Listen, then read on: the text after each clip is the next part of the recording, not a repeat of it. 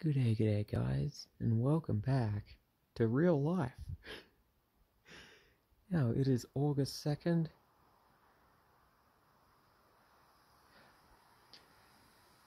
Oh, of course, the cloud just covered it. It is August 2nd, 2023, and as the winds pick up at 4:34 a.m. AEST, dawn of the August supermoon, the first of two, because this is a blue moon month, and all I can think about is Persona 3. The amazing game that it is, and all I can think about is SEES fighting the shadows and doing SEES related things. Oh, look at that. Camera's probably not picking it up at all. It is in full clarity, you can see all of it in detail. It's fucking giant. It looks amazing.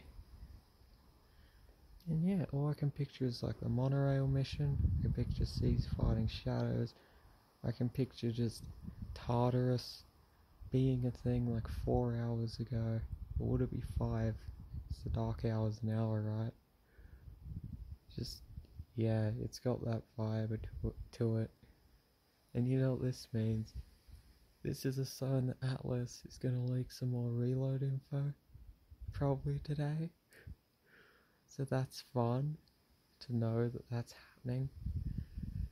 The moon is at its closest to the Earth right now. It is approximately, I think, like twice as close as it usually is.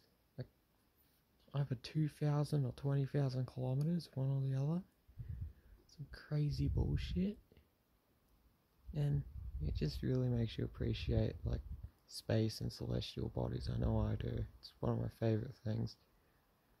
But anyway, that's the end of this video. More Persona 3 will be coming up. And I just felt like I needed to record this because it's so pertinent to my current activities on YouTube and so pertinent to one of my favorite games of all time. That's the end of this video. See ya.